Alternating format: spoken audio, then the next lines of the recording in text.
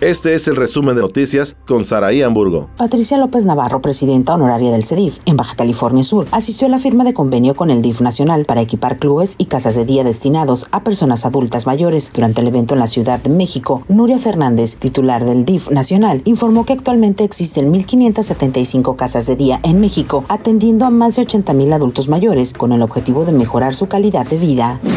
El gobierno del estado y el ayuntamiento de La Paz desarrollan los estudios necesarios para una nueva presa en el municipio de La Paz. La directora general de la Comisión Estatal del Agua informó que la entidad destinó el 100% de recursos correspondientes a 3.5 millones de pesos para impulsar esta importante obra. Invierte Cepada más de 1.400 millones de pesos en el sector agropecuario durante el periodo 2023-2024 en beneficio de 18.790 hombres y 19.104 mujeres productoras.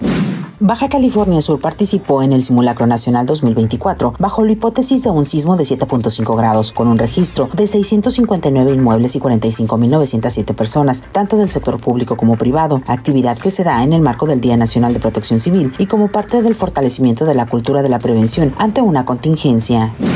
El gobierno de México impugnará fallo a favor del proyecto minero de la empresa Odyssey Marine Exploration en Baja California Sur a través de las Secretarías de Economía y Medio Ambiente y Recursos Naturales y desaprueba el fallo emitido de manera no unánime por un Tribunal Internacional Administrativo por el Centro Internacional de Arreglo de Diferencias Relativas a Inversiones. Asimismo, anuncia que buscará anular el fallo ante las Cortes competentes.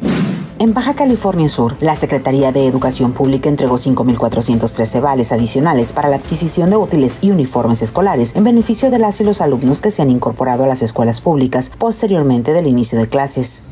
Sigue la información actualizada en Sud California hoy a través de la señal que nos une.